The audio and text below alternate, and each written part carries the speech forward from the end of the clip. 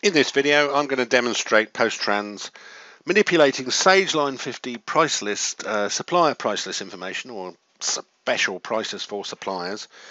Uh, effectively, we're going to extract the existing supplier database, make some amendments, maybe add some new records, and then import new and changed data back into Sage Line 50. Of course, it's worth pointing out PostTrans can also Import nominal journals, stock adjustments, invoices, sales quotes, uh, purchase orders, many other things, and help maintain bill of materials and the like. It also is feature rich, which allows us to do in-cell searching and validation, which we'll see demonstrated in the video. This video will cover Sage Line 50, but the same functionality is available for Sage Line 200 also. Let's see the software in action.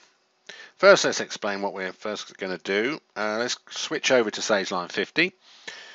Here we can see our product list. We're on the products and services tab here. I'm going to press the price list button at the top here and that's all my prices. Now in this video we're interested in the supplier prices. There's another video that covers customers. So it's these individual supplier records here. We have to create those before we can create the list of prices below that heading.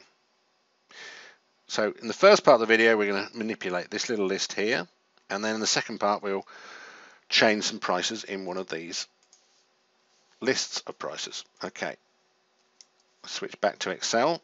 Here I am in Excel 2013. Uh, PostTrans works, works in all flavors of Excel since 2000. Part of the installation installs a PostTrans toolbar which has another six buttons. First of all, I'm going to extract the existing data because that's usually the easiest way to start. Now, PostTrans uses cell A1 it places a tag in there which tells PostTrans what the template is all about. Obviously we're in a completely blank spreadsheet so therefore it's offering me those tags to create a new template. Let's click on yes and now we can see a list of those tags and descriptions on the right. And down here are all the price level pricing tags and we're interested in the top level of the supplier pricing for a start.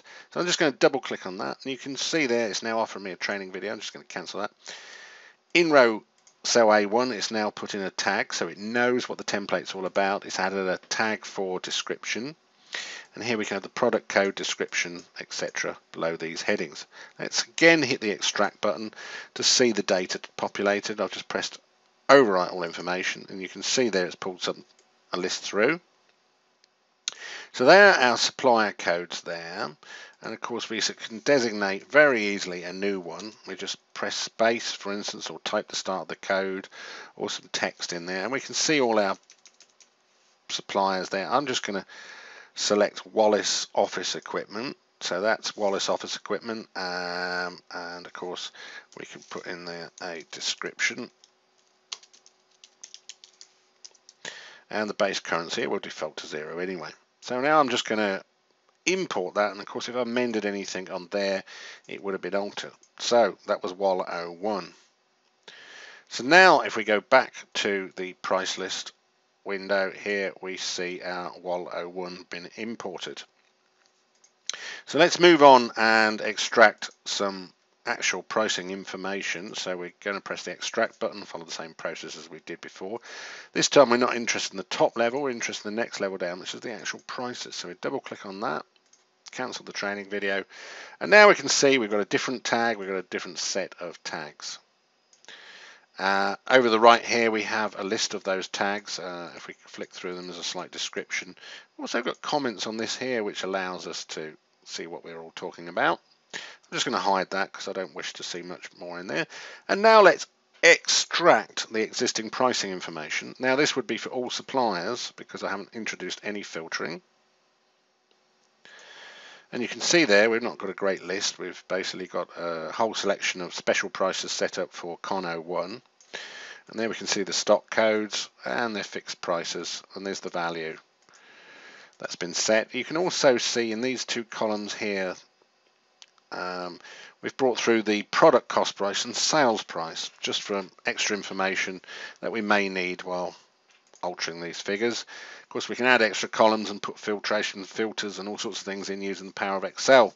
So that information may be useful because it's related to to uh, the information we're seeing. Uh, so we've just created walls. So now I'm just going to show you how easy it is to enter an extra price list information. So I'm going to type in there wall, which has now brought me through the price list we created, the parent record as it were. Um, let's put in there a BOA, which should bring up all my board whiteboards. So I'm going to select whiteboards. It's fixed price. I think in actual fact, if I leave that out, it would set its fixed price. And I'm going to put six pound.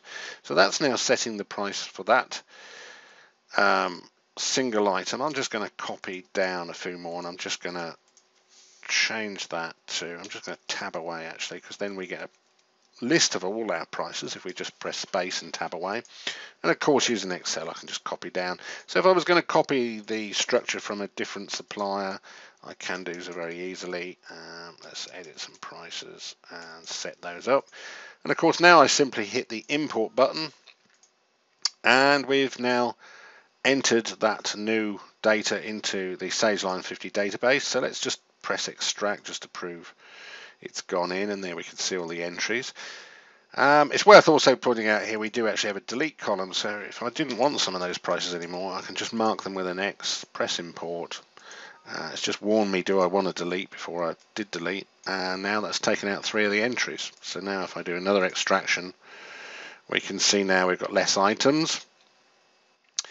Course we can use uh, filtration on row 2 so if I wanted to see all suppliers that had these particular type of whiteboards and I press extract, we will now see those price lists. I think I've deleted the other one, so um, it's just brought the one through. So that's how simple it is to manipulate uh, the pricing information. This was the actual supplier pricing information. If you're watching this video from YouTube, to go to our website, simply click on the link in the description below. If you're already on our website, you can scroll down slightly and below this video you'll probably see some related links to associated articles. Let's just show you some of the resources on the website.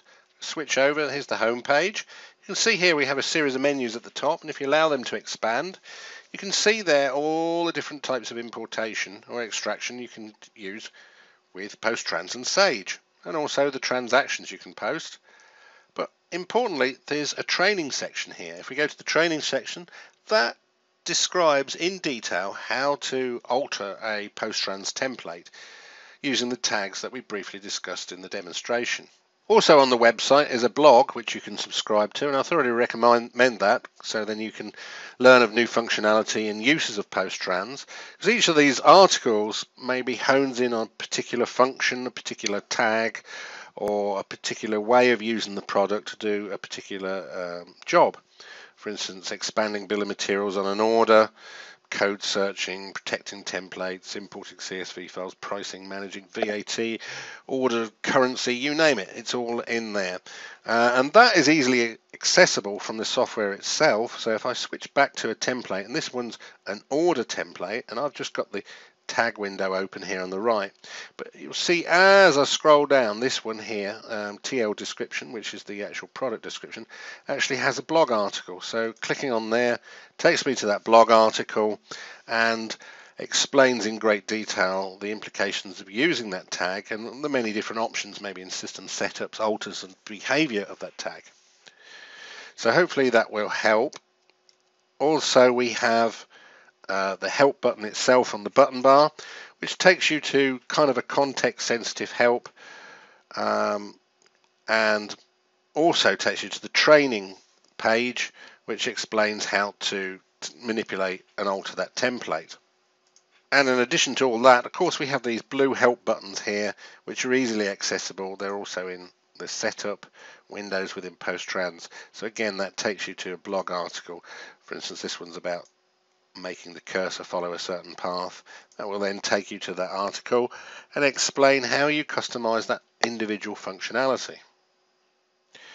So there I hope you've seen um, many different functions and um, online resources that we provided you to enable you to customize PostTrans to create a template to uh, help you or your customers.